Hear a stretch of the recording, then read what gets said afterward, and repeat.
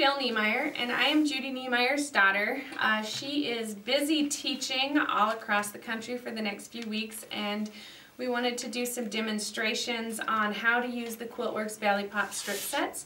So I am helping her out with that today. Uh, we're going to talk today about the garden wall pattern. Uh, this is one of our newest patterns. It came out in January and it is uh, designed around the Quiltworx Bali Pop strip set and it uses one strip of, or one package of 48 strips. Uh, to explain a little bit about the Quiltworx Bali Pop strip set, uh, this is a project that we did with Hoffman Fabrics last summer uh, and Judy asked them to consider putting 48 strips into a package instead of 40. And they agreed to do that and the reason why is because it works so well with our other wedding ring quilts. Uh, but it also lends itself very well to a number of other quilt patterns that we have designed. Uh, this is actually a redesign layout of an older version of a quilt that we have called the Waterfalls. And we just did some different things with borders and uh, sashing to come up with the new look. Uh, the, the other nice thing about these uh, Quiltworx Bali Pops is that Judy hand selected all the fabrics so you know that you're getting the exact fabric that was used in this particular quilt and she also had these strips pre-sorted. Uh, so they were sorted into color groups and I'll show you what a color group is here. Uh, a color group is just a group of eight strips that run from the darkest color to the lightest color for that particular group.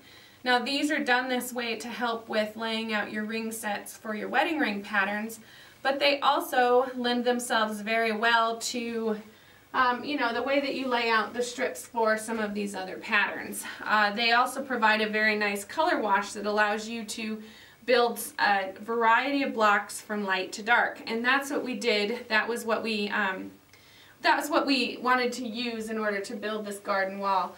If you I, you can't probably see the bottom of the quilt but I'll put a picture into the video that shows you the dark fabrics all the dark colors in this group are collected down on this bottom corner of the quilt and um, the lighter colors are collected up at the top corner. So uh, basically all you need to do is pull apart your strip sets into the groups that you have and then grab all of your light blocks, um, all of your light strips off of the top and then you're going to take those to your machine and you'll sew up eight eight blocks. Now what you're going to coordinate those with is a group of solids. For the quilt that's on the wall, we picked blues and purples. So we used um, let me see. We used four purples out of this group and four blues out of this group. And then we um, we picked the lighter colors to go with some of these lighter blocks. Or no, we picked a dark color up in the corner, a dark color down in the bottom, and then we ran into the light colors in the middle. So that's how we chose to um, pair up our strips. So you're going to cut your coordinating backgrounds into another group of two and a half inch strip sets and then you're going to go through the process of pairing the colors up.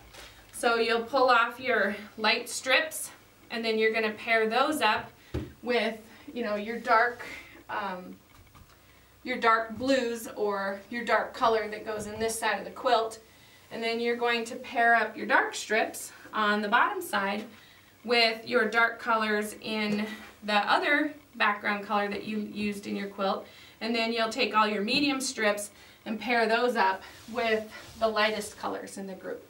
And that's essentially how you put this together.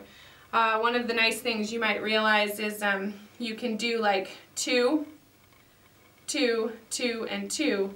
And so then you're going to have four strip sets, or four colors here. So I'll show you real quick with just one group.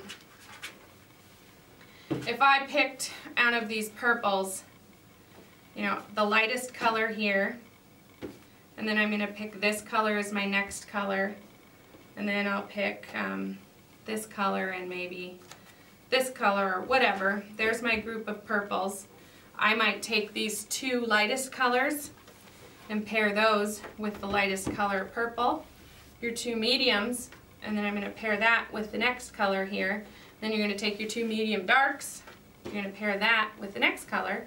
Then you're going to take your two darks and you're going to pair that with your darkest color. Very fast, very easy way to sort these out and prep this quilt. Uh, and that's one of the great things about the way that these Bali Pop strip sets uh, work. Uh, you, there's almost no prep time in color in order to get the look that you want. Another thing I want to say about this is that you don't have to use the purple and the blue in the background.